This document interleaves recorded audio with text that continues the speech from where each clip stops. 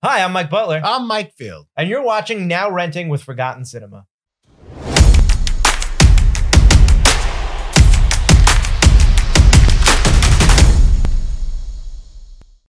Today, we're talking about Promising Young Woman. Mike, what's it about? Promising Young Woman tells the story of the life of Cassie Thomas and what it appears to be. She's wickedly smart, tantalizingly cunning, and she's living a secret double life by night. Now, an unexpected encounter is about to give Cassie a chance to right the wrongs from the past. Okay, so you know, like we like to do, we like to do our three things. The three things why we what we liked about the movie that maybe would help you, you know, click that button to watch it tonight. Mike, what's your first thing? Well, the first thing to uh, kind of get us out of that dark funk that was that. Well, the movie is not the movie. That's what the movie Is about. that the movie is while it is about that it is also a, a very dark comedy uh, and that is one of the things i like best, best about this movie it's not like there are some moments that are laugh out loud funny but for the most part it is a comedy it is disturbingly funny in certain ways obviously in some of the ways that Carey mulligan's character is able to get back at some of these terrible terrible human beings uh, they totally deserve yeah, but it. don't you kind of want that to go a little bit like you? You she doesn't go all the way. no because then it would be a horror film So where the people deserve to die but still dark comedy. That's Stuff true. That happens Yeah. in dark comedies. all right Yeah. This was actually my third thing, but since you took you brought up like the style of the movie, I will say this that it's a revenge film.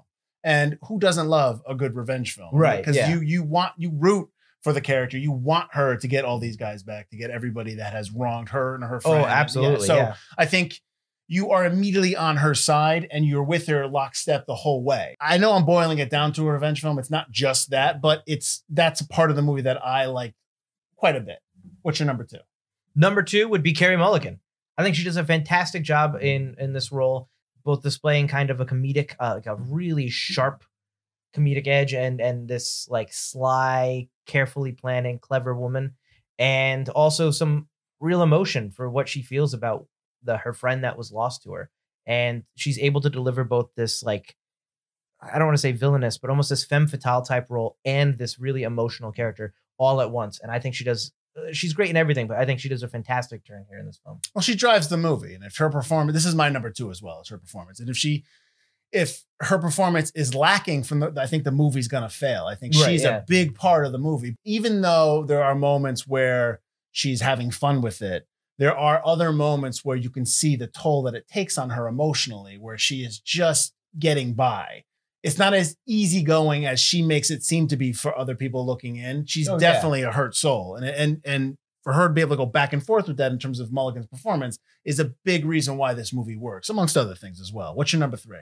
My number three would be Bo Burnham. Yeah. Ooh, we differ. Go ahead. Oh, we do? Okay. So Bo Burnham, I think, does a great job in this film um, as uh, Carey Mulligan's uh, kind of love interest kind of character in this film, the one who pines after her. You know, I know him as like a stand-up comic, and I was really surprised to see him in this.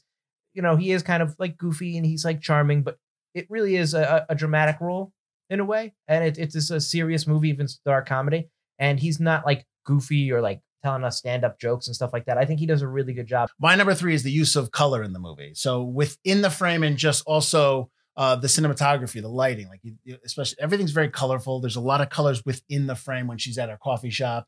Uh, her hair at the end, just everything is just it's bright. It pops. It makes you take notice. Yes, and I think that um, that it's almost telling a, a- the same story uh, that you're watching on screen that the script is telling you that the actors are performing. I think the use of the light, the use of lighting within the frame and in the cinematography is also telling you that same story. Uh, that's something that I really was struck by in the movie, and I thought if for somebody who enjoys the what goes into making movies, I think that's something that a lot of people might enjoy when they watch this movie. All the other things that we talked about, just the actual production of the film. Um, I'm always going to side with that. But this movie's a this movie's a I don't know if this would you say this movie's a tough watch because I don't think it's a tough watch. I know some people had a little tough times with it, but no, I I think if this is a subject that triggers you, then it triggers you, and maybe that's something you don't want to you want to stay away That's from. true. But I think true. otherwise, if you're just reading the description, going, "Oh, that sounds depressing," it really is. no, it's not. it really Yeah. isn't the way it's presented, and I think it's definitely worth watching for both the production and the acting. Yeah. And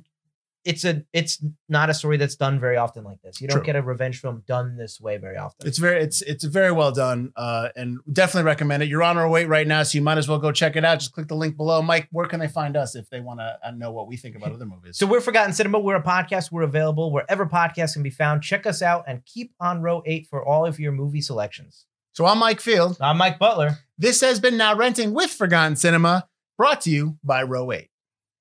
Stop pointing.